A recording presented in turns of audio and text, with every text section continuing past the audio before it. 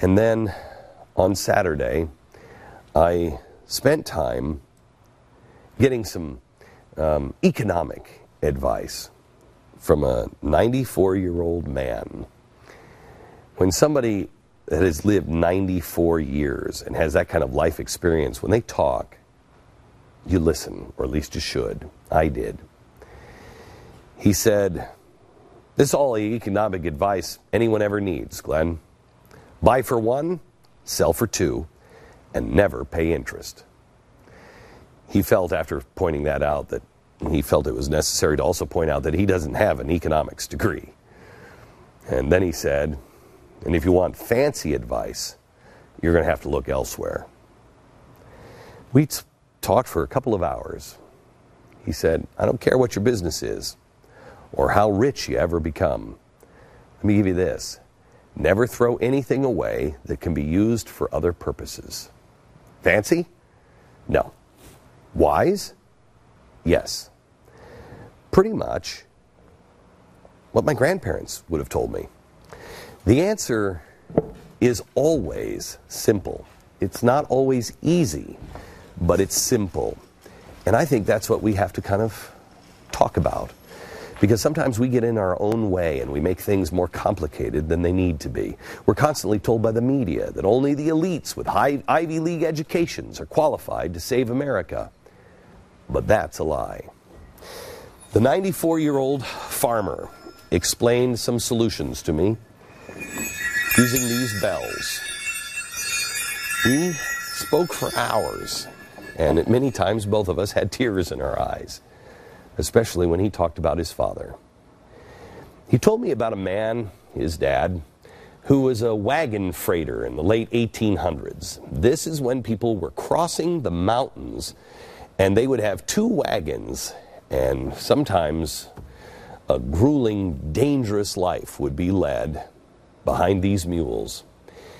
These guys were tough as nails, and they made a living transporting the goods through the rough terrain of the West with as many as 20 mules. I saw a picture of his father.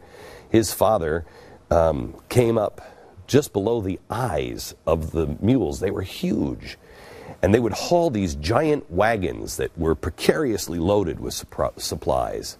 And at various points in the journey, the trails would become extremely hazardous and narrow. In fact, so narrow that when you would come up to a crossroad, if you wanted to turn, you'd have to stop and really listen. And you would be listening for bells.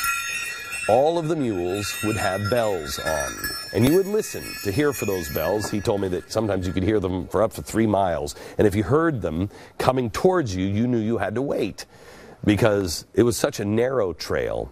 Once you got onto that road, if someone was coming towards you, you're both going to be stuck. No, no two mules could pass each other at the time, and you couldn't turn the mules around. Hard living men, the kind of men that would look at the comforts of modern day life with, I think, disgust. Not exactly the kind of guy that would hang around and hug their competitors on the trail. But despite all the external toughness, there was something that I think that we miss in today's world, and it may be the answer to most of our problems. The underwritten rule. If you come across a wagon that is tipped over, whether it belongs to a friend or a mortal enemy, you had to help him. There was two expressions that this 94 year old friend of mine gave me this weekend. Two expressions that I'd heard a million times, but I didn't know what they meant. First one was yeehaw. You've heard, I mean, his kids were like, yeehaw, right? If you said it like that, it'd be very confusing to the mules because those, those commands, there's two of them, ye and ha. And the two mules up front knew what they meant. You see, the best mules were the lead mules. And it was really to keep you on the straight and narrow path. If you started to go up the uh, mountainside a little bit too much, ha ha, or ye ye. And that's how they steered. You couldn't go either too far off this or you'd fall off the cliff, or if you went up too far on the mountain, well, then your wagon would tip, and that was a real mess that you weren't getting out of easily. But, like I said, if you came across a wagon with the mules and it had been tipped over, it was your responsibility to help, and not just help get them upright. You also had to reload their wagon. You had to fix any of the broken parts. Whatever they needed, you made it right. What did you get out of the deal? Nothing. Well, in today's world, nothing. But in their world, a lot. You would get these. These were not the bells that were on the back mules. These bells were only on the front mules. They were the best, and they were from the best mule. They're not really worth anything of value themselves. This wasn't for trade or financial gain. The bells were a symbol. They were a symbol of honor. If you lost your bells, you lost your honor until you stopped and helped someone else. And then you got their bells. It was all about honor. This hardened 94 year old farmer welled up like a child when he started talking about his father.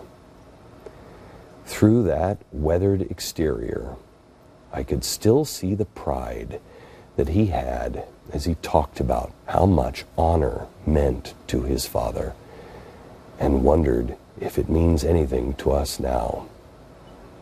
He told me whenever his father left on a trip, trip, he would always say the phrase that we have always said but never knew what it meant.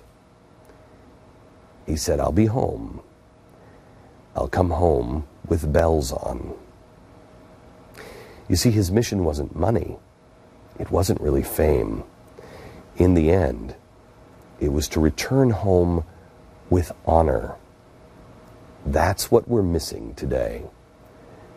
But the best part is, we don't need to have fancy economics degrees from Harvard to fix it. We just have to get up every morning and put on our pants and our shoes, and on the way out the door, tell our wife and our kids we'll be home for dinner with bells on.